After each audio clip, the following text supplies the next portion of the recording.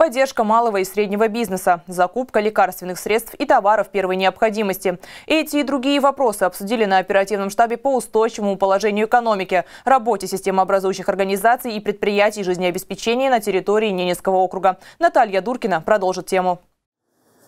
На оперативном заседании штаба по устойчивому положению экономики был принят план мероприятий по восьми основным отраслям. Этот план, он не исчерпывающий, и, безусловно, в меняющихся условиях мы будем его дополнять теми, теми мерами, которые ну, будут, скажем так, назревать. Поэтому предлагается принять его за основу, принять его сегодня. В случае, если будут возникать какие-то ситуации, когда нам всем требуется подключиться и отработать какие-то дополнительные меры, мы их будем отрабатывать. Также были утверждены более 20 мер поддержки для малого и среднего бизнеса. В их числе льготное кредитование бизнеса и снижение арендной платы на объекты, находящиеся в государственной собственности. Мы э, предлагаем ввести мораторий на повышение платежей за использование земель и земельных участков, это арендная плата, земельный налог – Значит, также уменьшить размер арендной платы за пользование имуществом в собственности Ненецкого округа на 50% а, на срок 6 месяцев а, значит, по субъектам малого и среднего предпринимательства. В связи с текущей обстановкой была предложена упрощенная система государственных закупок лекарственных средств и продуктов питания. Предлагаем внедрить упрощенную систему закупок лекарственных препаратов и продуктов питания у производителей, находящихся на территории Ненецкого округа. Что касается лекарственного обеспечения, то здесь э, значит, э, осуществлять контроль Департамента здравоохранения в аптеках, аптечных пунктах ООО «Ненецкая фармация», особенно расположенных в сельской местности. Ну и по иным мероприятиям это мониторинг на рынке занятости, своевременность выплаты заработной платы – значит, мониторинг розничных цен на социально значимые продовольственные товары и товары первой необходимости. Напомним, в регионе действует горячая линия по контролю за ценами, которая была организована по поручению губернатора округа Юрия Бездудного. К слову, большая часть вопросов, которые поступали на горячую линию, связана с ценой и наличием сахарного песка. Причина роста цен на сахар не обоснована на самом деле, потому что предложение на рынке оно есть. Мы производим из, э, сахар из свеклы, который у нас производится в достатке. Запасы сахара на крупных э, складах полностью обеспечены. А, что случилось э, конкретно в данном сценарии?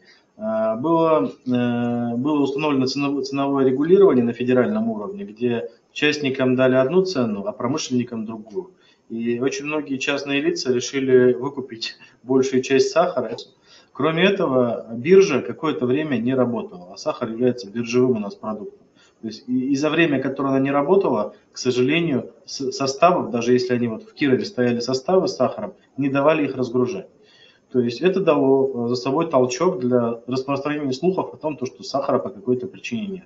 Альберт Чабдаров также отметил, что в округе из-за сложной логистики и с учетом паводка запасы сахара на душу населения традиционно больше, чем в других регионах. Тем не менее, из-за повышенного спроса в некоторых магазинах сахар начал заканчиваться, особенно дешевые позиции.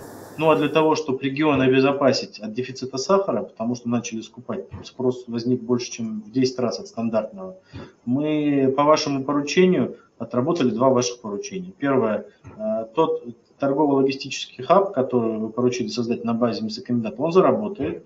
И по итогам вашего звонка э, губернатора Ульяновской области, Ульяновский сахарный завод отгрузит нам 64 тонны сахара. Мясокомбинат их законтрактуют на форах на следующей неделе, привезут, привезут их, они будут лежать на складе, и всем крупным торговым сетям мы его отгрузим по приемлемой цене.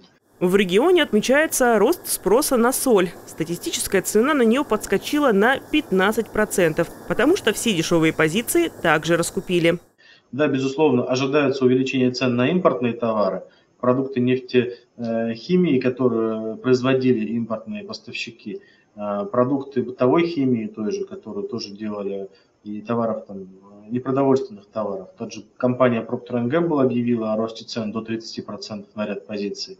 А, но это связано с курсовыми разницами. От этого никуда не уйти. Но самое главное, что жизненно важные позиции, социально значимые позиции мы держим и наши запасы позволяют не переживать о обеспечении продовольственной безопасности. Юрий Бездудный, в свою очередь, поручил оперативно отрабатывать вопросы с наличием на полках товара, если они будут возникать. Я вас попрошу в ручном режиме отрабатывать вопросы, связанные с вот таким э, возникновением какого-то дефицита. Если необходимо, готов выходить на своих коллег, глав других регионов и отдельно отрабатывать по сахару, по крупам, по каким-то позициям жизненно важных продуктов, чтобы жители нашего округа могли спать спокойно и были уверены, что у нас этот товар есть в достаточном количестве.